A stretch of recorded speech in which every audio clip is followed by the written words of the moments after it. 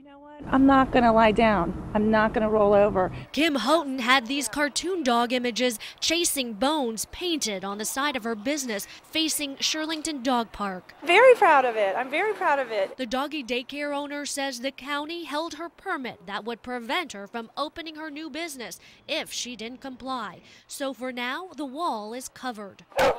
Zoning officials say the mural is a sign, and under its ordinance, it's too big and is advertisement for her business. Clearly, she wants the mural to direct, identify, or inform the public that she's having a business at that location. Zoning officials told Houghton the sign on the door was okay, but the big mural was not. She was given three choices pay hefty fines, paint over it, or turn it over to the county by painting in big letters Welcome to Shirlington Park's community canine area in four foot high letters. The national public interest law firm Institute for Justice filed a federal lawsuit on her behalf, saying her constitutional right to free speech is being violated. I wasn't going to just walk away and whitewash over something that I spent so much money and put so much heart into. And those businesses who work hard to comply with our laws deserve to have those laws uniformly and equitably applied.